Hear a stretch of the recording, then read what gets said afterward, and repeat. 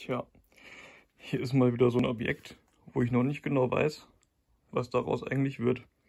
Habe ich vor Jahren mal vorm Schrott bewahrt, sollte zum Schrott. Habe ich gesagt, naja, raus kann es hier schon, aber dann in meinen Kofferraum. Und seitdem hängt das hier so in der Garage rum und äh, sammelt Staub und Dreck. Ja, es ist eigentlich alles ein bisschen ausgeleiert. Lager sind alle so geht so. Reifen habt ihr ja gesehen, die können wir natürlich wegschmeißen. Das äh, macht keinen Sinn mehr. Aber ich habe irgendwo da hinten, da hängen eigentlich schon welche, die könnten da vielleicht. Ja, ähm, schauen wir mal.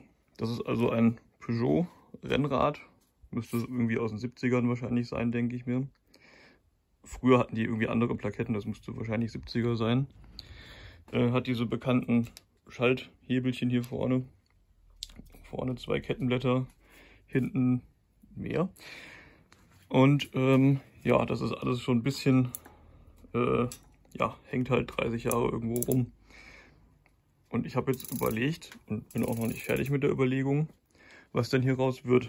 Was aber klar ist, das muss alles erstmal zerlegt werden, weil, weiß nicht, ob man das jetzt hört, das ist auch irgendwie ziemlich hinüber oder trocken. Da unten müssen wir mal schauen. Und ob es überhaupt in dieser Art und Weise bleibt, weiß ich auch noch nicht. Weil ich bin eindeutig kein Rennradfahrer.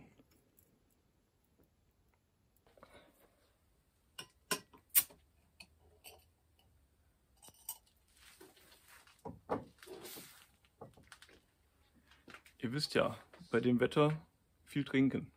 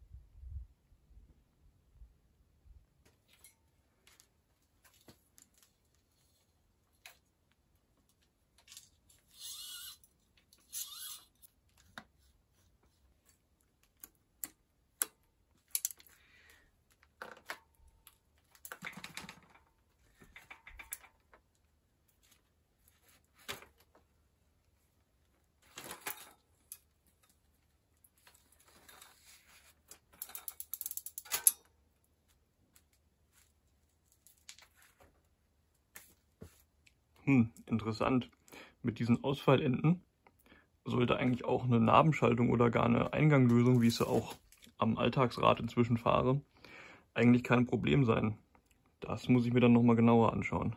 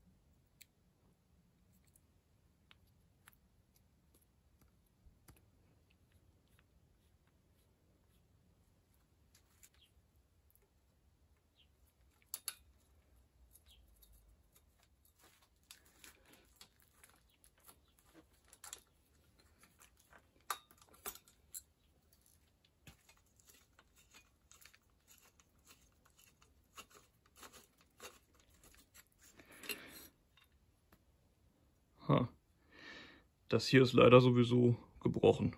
Das ist hinüber.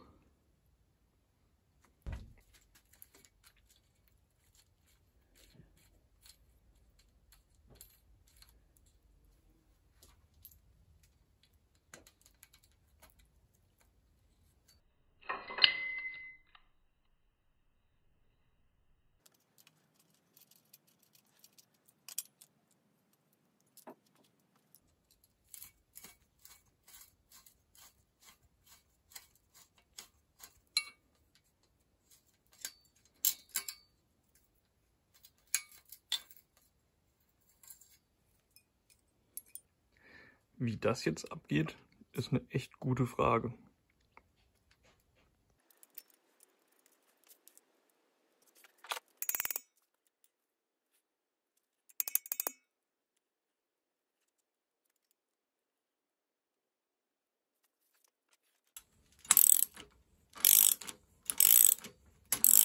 Ähm,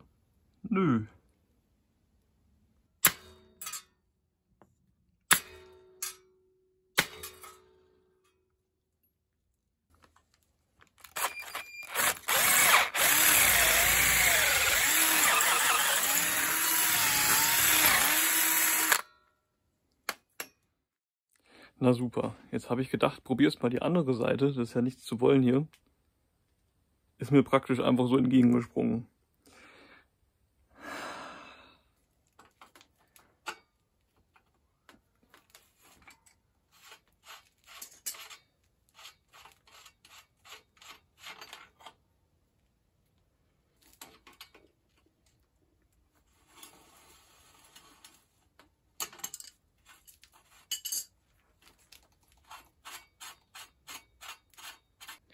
Ist jetzt natürlich eine Kugel irgendwo verlustig gegangen. Die muss ich wieder finden.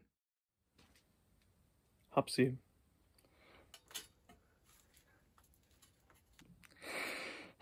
Okay, die andere Seite muss dann wohl doch noch ab.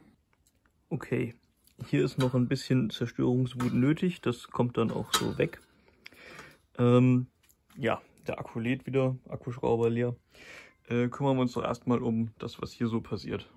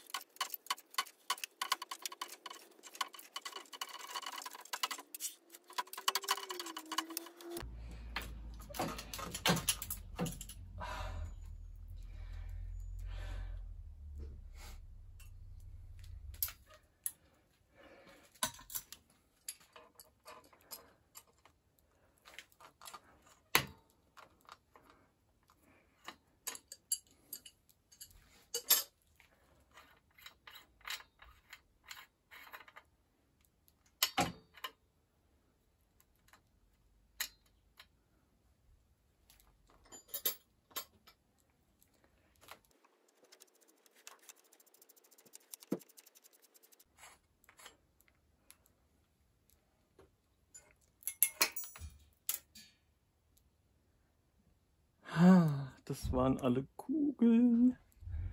Wieso ist das unten kein geschlossenes Lager? Ah, wie schön. Noch eine. Noch eine. Noch eine.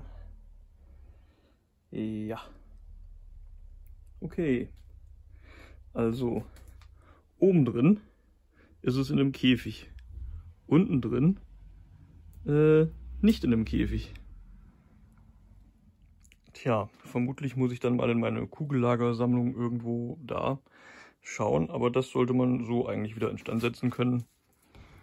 Das ist einfach nur festes altes Fett, sah sonst noch ganz gut aus. Gut, das muss jetzt ab. Und wenn das ab ist, müssen wir noch diese Lagerschale rausdrehen. Da hatte ich auch noch nichts für, aber ich war gerade eben noch im Baumarkt. Und damit soll es klappen.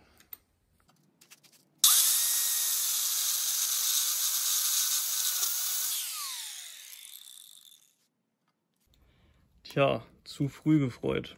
Hier steht, äh, hier steht 39 mm maximale Öffnung. Nalu, geht bei 35 nicht weiter. Ja, 36 brauchen wir, bei 35 hört es auf.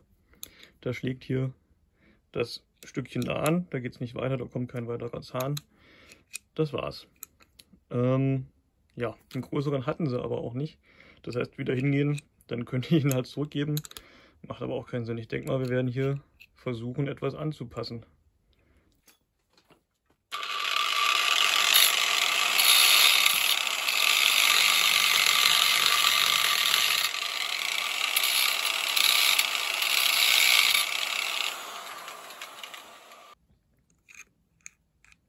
Tada, fast 36, aber ich habe schon geguckt, reicht.